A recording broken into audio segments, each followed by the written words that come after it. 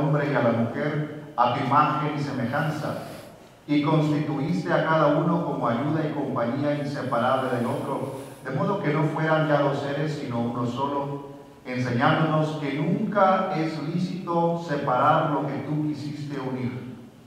Dios nuestro, tú que con un designio maravilloso consagraste la unión conyugal para prefigurar en ella la unión de Cristo y de la Iglesia.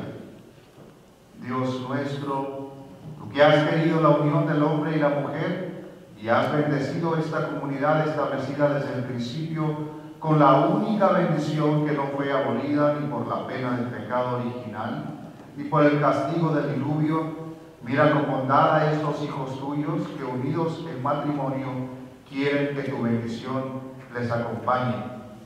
Envía sobre ellos la gracia del Espíritu Santo para que tu amor derramado en sus corazones los haga permanecer fieles a su alianza conyugal Concede a tu hija Miriam el don del amor y de la paz, y que siga siempre el ejemplo de las santas mujeres cuya alabanza proclama la Escritura.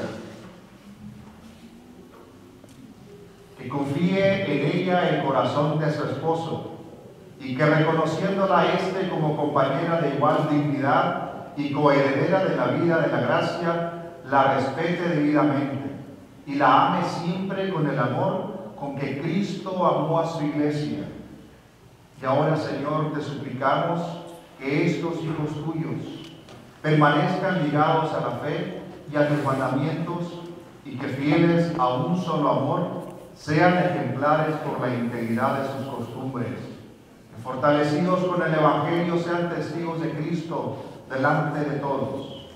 Sean fecundos en hijos, padres intachables, vean ambos a los hijos de sus hijos, y transcurrida una ancianidad feliz, alcancen la fidelidad de los justos en el reino de los cielos. Por Jesucristo nuestro Señor.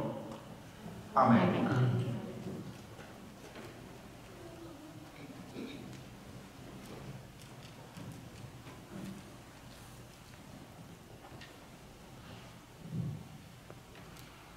La paz del Señor esté siempre con todos ustedes.